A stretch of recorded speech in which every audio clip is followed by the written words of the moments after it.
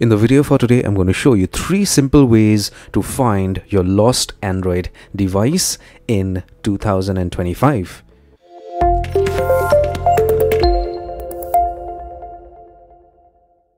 Losing your phone is actually a big deal. Be it an Android device or an Apple device, it is a big deal because these days we rely on our smartphones for almost everything from shopping to banking and you know storing our old photos and videos and whatnot.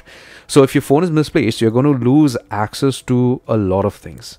So what I would always suggest is I know it's a big deal. I know it's hard on you to digest the fact that you just had your phone this morning and this afternoon you lost it or misplaced it somewhere in your house. The first thing what you need to do is file in a missing complaint or in India we call it an FIR first information report. So you should go ahead to the local police station and file in a missing complaint keep a copy of that with you so that in the future if somebody tries to misuse your phone after it was lost you are not pulled up for it now, having said that, let me explain to you three simple methods through which you could try and get back your phone. The first method, obviously, we all know about, which is uh, using Google Find Hub. You could just get onto any laptop or PC or any other device open the browser and just do a search for Find Hub. This is a fantastic application that helps you to track lost or stolen devices. Android, of course. Uh, so you could just click on the first link suggested by Google, log in with the same email address that was on the lost or stolen Android device. And then after you log in, click on devices, select the device that you're trying to track. And within few seconds or a couple of minutes, Find Hub is going to track your phone to a specific location. If it gives you a location, well and good. It is still out there, maybe in that specific spot on Google Maps. But if it is, uh, you know, not giving you a location, it means it is offline. So in order for your phone to be shown on Google Find Hub, specifically on Maps, it has to be online obviously if any person is trying to rob your phone they're going to do their best to switch off your phone. So maybe if your phone is off it's not going to show up out here. But most of the time what happens is that you are going to see a location for your phone. Maybe that is the current location for your phone. So you could just rush to the location and you know get your phone back. But if you do not get your phone out there it means that was the last location. Say supposing you have misplaced your phone you know it's in your room but you're not able to find it.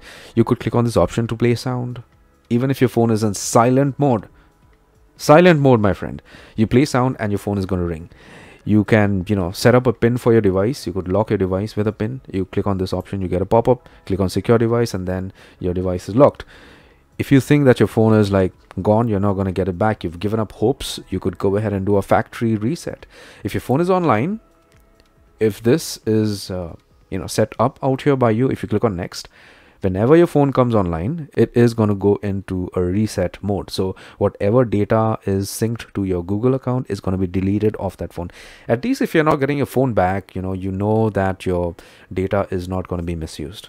The second method to try and find your phone when it is misplaced, lost or stolen, is uh, by using your home smart speaker. So if you have a Google Home Hub, for instance, you could say something like, okay, Google, find my phone it is going to confirm the device that you're trying to track and once you do so it is going to make your phone ring or you know make it make a sound or something like that.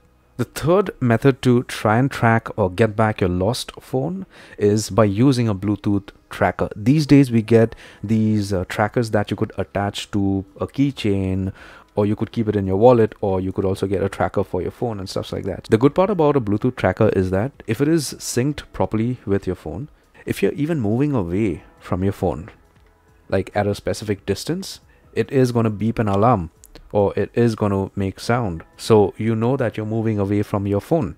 So these are the three genuine methods to try and get back your phone once you misplace it. If you get back your phone, well and good. If you do not, I suggest you keep trying with Find Hub or you could, uh, you know, get back to the police station and try and work it out with them.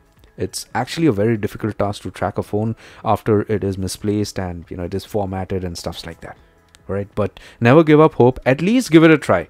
That's what I would say. I mean, I have misplaced two of my phones in the past, and it was a big deal for me because at that point of time I was broke, and uh, I'm being honest, okay, and uh, you know I didn't have any money to buy a new phone, and I really needed the phone. So if you like my video, give it a thumbs up. Take care, my friend.